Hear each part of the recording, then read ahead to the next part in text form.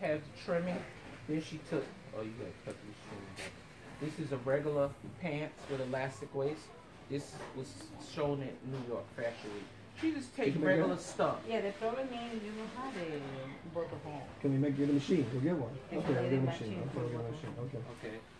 Then this one is We're gonna do ten on it. Only ten. ten. We're not doing past Is it a ten. good hat? Then we Oh, it's a girl have this right Nah, here. it's not. You don't have to make it just like this. The plus size women, this is the second plus Mhm. size. You see how this is stretchy? He can get this very easily. Yeah. There's a lot of big butt women out here, and they have to be in the fit. Well, I'm keeping it real. We in a epidemic obesity, but we want them to look cute. This is elastic. This is what showed at New York Fashion Week. I'm showing you the stuff that worked in New York Fashion Week. You see how the bottom is detailed, mm-hmm. mermaid? It's easy. Yeah, yeah. This should be easy too. It don't have to be formatted like this, but be mindful.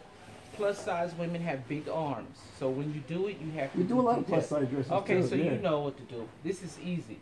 Okay. And We then we can take some of Ralphie's dresses and just change the pattern. yeah, that's all I you gotta have. do. I have a lot of dresses. They dresses. don't Yeah. care. Let me tell you, they don't even care about that kind of stuff. They Yeah, just yeah. want to be a part of the movement. This is the same format. This is a hoodie for the little boys. This is the boy collection. You see, this is the hoodie. in- All little boys love that in the big hoodies. size. Oh, okay. Same thing, pants. That's what you had on that day, right? Yeah, Huh? This one right here is here number one seller. This one for teenagers and little kids. You see, is my hand. Mark, your child that's for autism. Because I'm an educator and she's a big advocate for Hey, Dwayne, autism. How you doing? See how this is formatted? Very easy. This is the look out now. Oh, because she studies all of that. This leather, pleather Yeah. look. The same material? It don't have to be the same material as long as it's formatted like this. They melted you. Do you brother, see the gas, back? Benny? Yeah.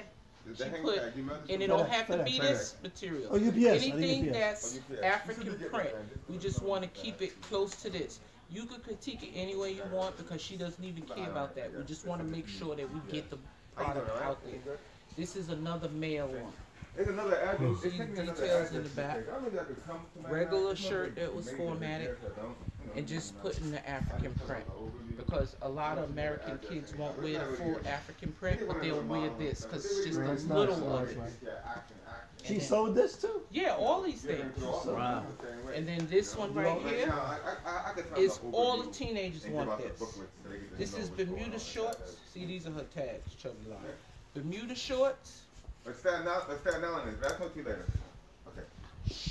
This is a top you can wear this year round, and then she did the reversible cape, lined it. Nice, yeah, that's cute. The lady on the news brought this from her.